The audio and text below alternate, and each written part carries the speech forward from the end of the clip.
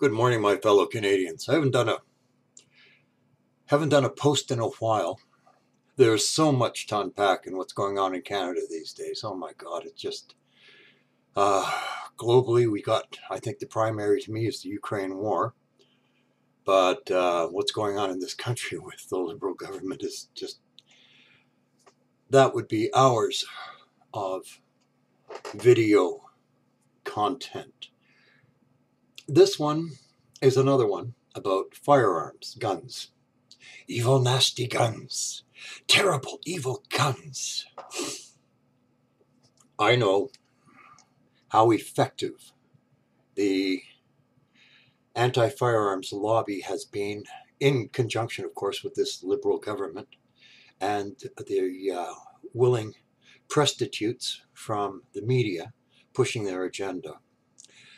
I mean, anybody who owns firearms or anybody who follows the whole firearms debate is aware of how skewed it is and how much basically garbage propaganda is being pushed out to the Canadian public. We all know this, okay? I had it brought home to me a while ago. I ran into a friend, long-standing, an acquaintance more so perhaps. He reads the Toronto Star. Now, he's been a lifelong subscriber. He's like a year younger than me. He's 72. He believes the Star. Now, for people, anybody watching this, who, if you're not from Toronto, the Toronto Star is probably the most skewed lib- pro-liberal biased newspaper in Toronto. Uh, the Globe and Mail is bad enough, but uh, the Star is just, I, I loathe and detest that paper. I don't consider them journalists. They've uh, bought the government money, the bailout, and they push the Liberal Party line and demonize the Conservative position. Basically, anything the Liberals say is uh, gospel coming down from God from the mountain to the Liberal to the Toronto Star. So it, to me, that paper is good for birdcage liner or doggy uh, doggy potty training or fire starter because it's thicker than the Toronto Sun. Anyways, he's been a lifelong reader. We were catching up on old news, what's been going on, things like this. I didn't want to get into it, but he brought up firearms, knowing that I am a shooter, hunter, um, used to be a collector. I've got over 55 years experience with firearms, okay? So, of all types. Everything from fully automatic in the military to uh, old antique muzzle loaders.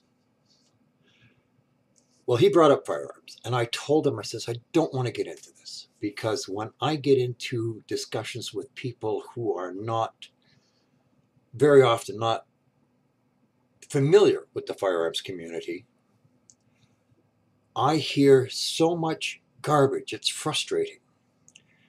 I pointed out, I have a debate, if I'm talking to somebody about firearms, first off, you have to have an open mind. If you don't know anything, be willing to learn, be willing to listen. I bring up facts, data, personal experience, and research and logic. Okay, this is what I bring to the table when I discuss just about anything. Okay. Most of the anti firearms rhetoric I get back is based on emotionalism and belief. Belief and I told him this. I said, I don't want to get into this because for those very reasons. Most of the counter arguments I hear or counter rebuttals are based on, on, on belief and emotionalism, not facts, not logic, not data. So we got into the discussion. I'm trying to educate them. Then I went over the line. I brought up the study in the US. This is the one that will make liberals' heads explode.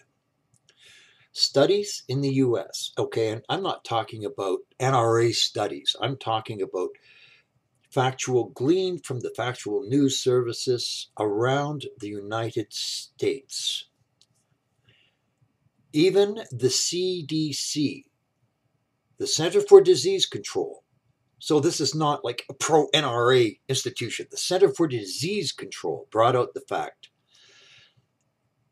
that armed citizens either stop a crime in progress or prevent a crime from occurring anywhere between half a million to three million times per year.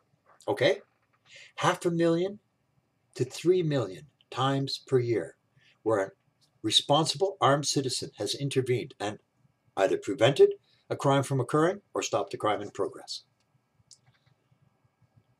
Now, I read this, I had to go over this, and now I have seen this confirmed by several other different sources. Okay, so this is not a pro gun fantasy. Well, I brought that up. And his first response was, I, I can't believe that. There we go. And I said, okay, discussion's over.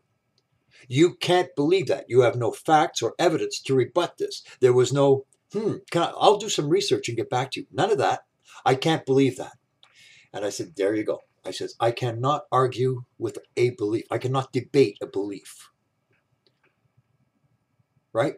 How can you debate a belief if you believe something? An atheist is arguing with a, a theologian, okay, about there is no God. So you don't believe there is a God. I do believe there is a God.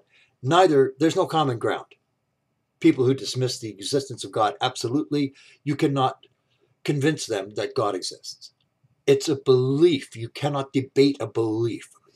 So I brought up the fact the other common claim from the anti-firearms group more guns equals more gun crime. I saw the interview in toronto man on the street interview and they interviewed one moron and his thing was exactly that. Well i don't know a lot about firearms but i do know not believe i do know this more guns equals more gun crime. That was what he said. He knows this now of course people again who have done any research or studies I was reading the most heavily armed, the greatest incidence of private ownership of firearms in the world is the United States of America. I've heard crazy figures. I've heard anywhere up to 800 million firearms privately owned. Okay, which I see is very possible. Collectors, uh, dedicated shooters, gun nuts, if you wish. Yeah, guys got uh, four, five, six more firearms, whole collections, rooms.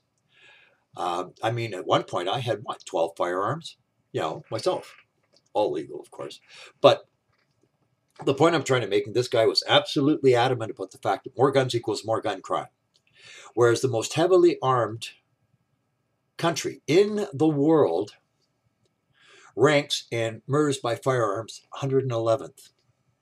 Now, one would think by that logic, the more firearms, more deaths, in homicides, the United States ranks in firearm murders 111th in the world rankings. That's stats per 100,000. Well, when I brought this up, the gentleman I was debating said, Well, I, I can't believe that. There we go. And I said, Okay, you know what, Sparky? I says, Discussion's over. I cannot debate, I cannot argue a belief. Well, no, I'm not arguing from a standpoint of belief. This is what he told me. What do you mean? You just said you can't believe it. You don't accept what I told you because you can't believe it. And now you say you're not arguing from a standpoint of belief. You're not debating this from a standpoint of fact. Now, mind you, we had been drinking, okay? But still, I got out because I was starting to get steamed. I didn't want to lose my temper, so I just ended the debate, the conversation. But it strikes me there how effective the propaganda has been in brainwashing people who don't know firearms, know nothing about firearms, don't know anybody who owns firearms, have never shot a firearm, have no association at all with the firearms community, but they know that if you ban handguns, the crime rate's going to drop. They know this. Now, all the evidence to the contrary, they know this. I'd like to bring up, and I hate doing this because, as a rule, I uh, when I hear people start throwing out numbers, I hear, and the stats say that blah, blah, blah, blah, blah, blah, blah, blah, blah, blah, blah, blah, and I start tuning out. But I had to look it up because I wanted to present some actual, actual numbers from Statistics Canada. Now, this goes back to 2021 because they don't have, I, I didn't see the stats for 2022. 2021, there were 297 homicides by firearms in Canada. 297. Bear that in mind. Homicides by Canada. And of that, 46% were gang related. Okay? So almost half were gang related. I'd like to bring up another stat. 2020, in Canada, there were 1,725 vehicular deaths. 1,725 vehicular deaths in Canada. 436 of those were the result of speeding, excessive speed. 303 of those were impaired. Now, 303, the lower figure, impaired driving, we lost, okay? 297 homicides by firearms. Versus 436 deaths from speeders and 303 from impaired. Well, before you go after firearms, let's have laws against speeding. Wait, we do. Okay, okay, so let's bring out laws against impaired driving. It's against the law to drive impaired. Let's bring out laws that make that a crime. Uh oh, wait. We do. The point to this is legislate anything you want. People who break the law will break the law. People who don't break the law won't break the law. It's that simple. The firearms community is among the most heavily regulated, stringently observed, and overwatched communities in the entire country, and yet we're one of the most responsible, one of the least criminal of all organizations in Canada, all communities. And yet, the papers go after them. The government's going after them. My poor country, you know, we used to be a nation of common sense. We used to be a nation where you were allowed to have a divergent viewpoint without being demonized or slagged or marginalized or defunded. Those days will come back, I think, if we get a conservative government. But for now, I just wanted to bring this up about evil, nasty firearms. If you choose to debate firearms, educate yourself. If you think that the government overreach is draconian, arbitrary, educate yourself and speak up about it. But whether you own a firearm, whether you know anybody who owns a firearm, whether you have no intention of owning firearms, it's not about firearms. It's about fairness. That's all we ask fairness. Bring out legislation that restricts transportation use, whatnot. Let them be based on logic, not emotionalism. Let them be based on fact, not fantasy, not political pressure. All we ask is that this be looked at fairly, objectively, reasonably.